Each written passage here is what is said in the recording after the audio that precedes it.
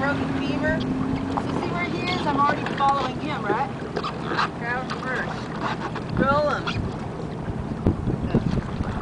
You have to get under their arms. In a sitting position. Use your footholds, right? That's all you're gonna. You're gonna get. That leg's damaged, keep it outside of the pump.